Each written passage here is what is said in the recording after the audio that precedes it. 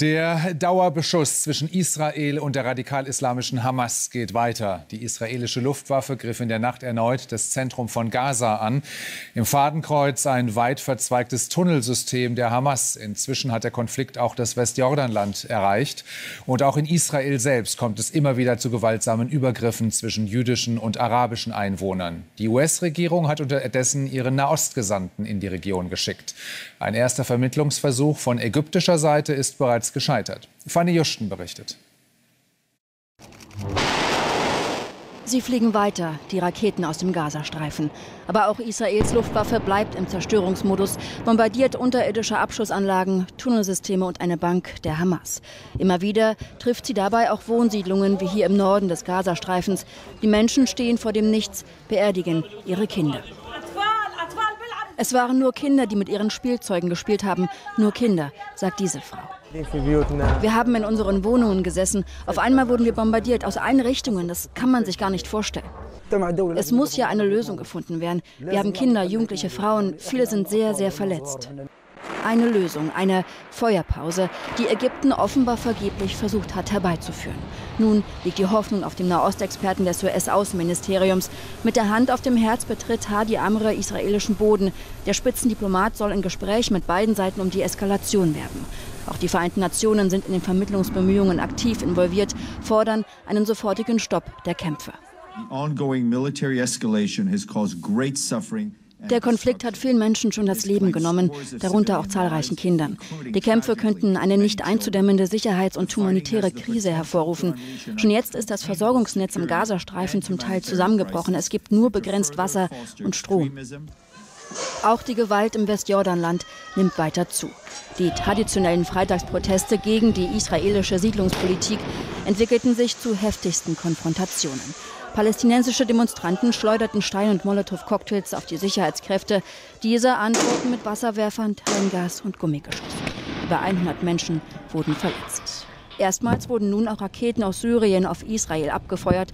Ob ein Zusammenhang zwischen den Raketenangriffen aus Syrien und der Zuspitzung des israelisch-palästinensischen Konflikts besteht, ist bislang unklar.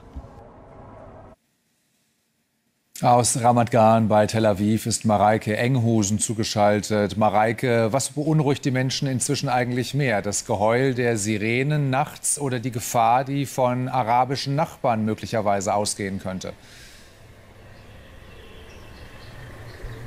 Das hängt ganz äh, davon ab, wo man lebt. Also im Süden ist die Raketengefahr natürlich weiter äh, sehr, sehr präsent. Es kam äh, in der letzten Nacht wieder ähm, fast minütlich Raketenangriffe, Sirenenalarm. Ähm, in gemischten Städten, in arabisch-jüdisch gemischten Städten sieht die Lage anders aus.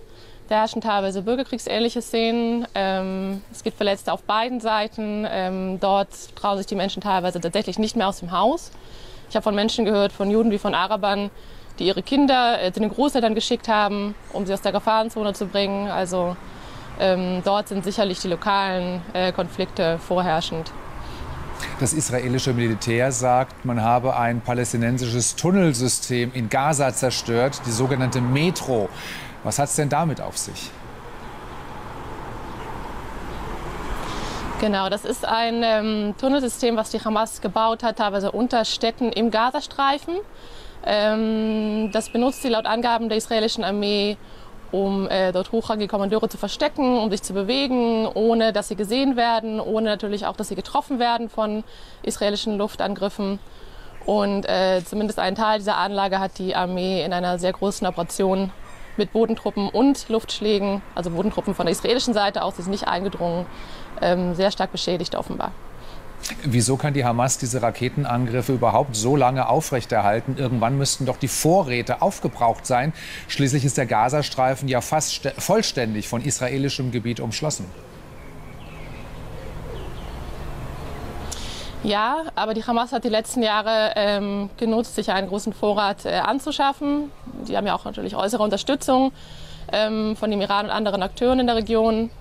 Und ähm, die Hamas hat auch sehr darauf geachtet, die Waffen äh, strategisch zu verteilen. Es gibt äh, sehr viele verschiedene Lager in verschiedenen Bereichen des Gazastreifens, oft eben auch in zivilen Gegenden, so dass es der Israel israelischen Armee schwerfällt, ähm, alle zu beseitigen. Also die, sie greift schon sehr gezielt auch Waffenlager und Produktionsstätten an, aber ähm, der Armeesprecher sagt selbst, es gibt noch sehr, sehr viele Städten, die die israelische Armee noch nicht treffen konnte. Vielleicht weiß sie auch nicht, äh, kennt sie auch nicht sämtliche Lagerorte. Jetzt ist ein erster Vermittlungsversuch von Seiten Ägyptens bereits gescheitert. Der US-Sondergesandte ist jetzt in der Region eingetroffen. Welche Erfolgsaussichten hat er? Ähm, derzeit ist die Stimmung hier so, dass ähm, man nicht davon ausgeht, dass es eine baldige Waffenruhe geben wird. Ähm, aller internationalen Bemühungen zum Trotz. Die israelische Regierung und auch die Armee macht immer wieder deutlich, dass sie das derzeitige Momentum nutzen möchte, um der Hamas nachhaltige Schäden zu verursachen. Ähm, man greift hier sehr gezielt wichtige Infrastruktur an, äh, auch sehr hochrangige Kommandeure in der Hoffnung, ähm, damit vielleicht ein paar Jahre danach wieder Ruhe herzustellen. Und es scheint so, dass diese strategische Überlegung derzeit Vorrang hat. Sagt Mareike Enghosen. Vielen Dank für die Informationen aus Ramat Gan bei Tel Aviv. Dankeschön.